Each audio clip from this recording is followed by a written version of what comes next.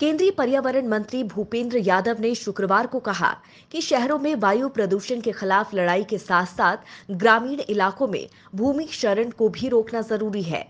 मरुस्थलीकरण और सूखा दिवस के अवसर पर एक कार्यक्रम को संबोधित करते हुए मंत्री जी ने कहा कि उन्हें लगता है कि महिलाएँ भूमि प्रबंधन में बड़ी भूमिका निभा सकती हैं। उन्होंने कहा कि देश ने पिछले सात साल में अंतिम व्यक्ति तक सुविधा प्रदायगी और लक्षित प्रदायगी के मामले में एक परिवर्तन देखा है। चाहे उज्ज्वला योजना का लाभ हो या बैंक खाता खोलने और टीकाकरण की बात हो। और हाल में हमने निर्धारित समय से पाँच महीने पहले पेट्रोल में 10 प्रतिशत एथेनॉल मिश्रण का लक्ष्य प्राप्त कर लिया। यादव ने कहा कि भूमि शरण विश्व के सामने उत्पन्न बड़ी चुनौतियों में से एक है और इसे रोकने में जन भागीदारी महत्वपूर्ण होगी तथा भारत मरुस्थलीकरण की समस्या से निपटने के लिए एक रोड मैप बना रहा है। उन्होंने ये भी कहा कि भारत ने पिछले आठ वर्षों में ड्रिप सिंचाई में उल्लेखनीय वृद्धि की है और तेईस करोड़ किसानों को मृदा स्वास्थ्य कार्ड वितरित किए गए हैं, जिससे मिट्टी की उर्वरकता बढ़ाने में मदद मिली है। खेती का उपयोग बढ़ा और उसकी जो दूसरा संकट आया, वो धरती का बंजरीकरण का संकट आया। और लगातार इस विकास के मानक में प्रकृति पे जिस प्रकार की बायोडाइवर्सिटीज है, उनके भी थ्रेट्स उत्पन्न हुए। भारत ने माननीय प्रधानमंत्री नरेंद्र मोदी जी के नेतृत्व में पिछले सात वर्षों में इन तीनों विषयों पे बहुत महत्वपूर्ण कार्य किए।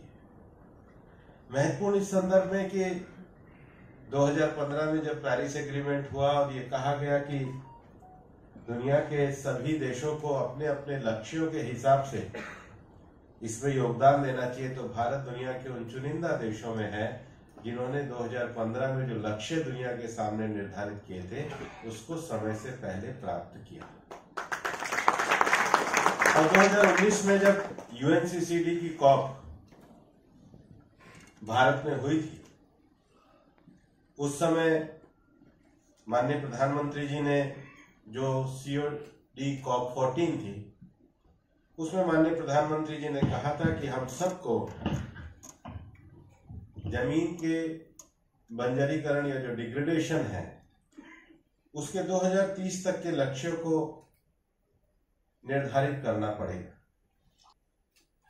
और जो 26 मिलियन हेक्टर है, उसके एक बड़े लक्ष्य को भारत ने पूरा भी किया और उसके कुछ उदाहरण भी गुजरात के हमारे जो अधिकारी हैं, उनकी तरफ़ से भी रखे गए, जो कृषि क्षेत्र में कुछ लोग जो अच्छा कार्य कर रहे हैं, उनकी तरफ़ से भी रखे गए।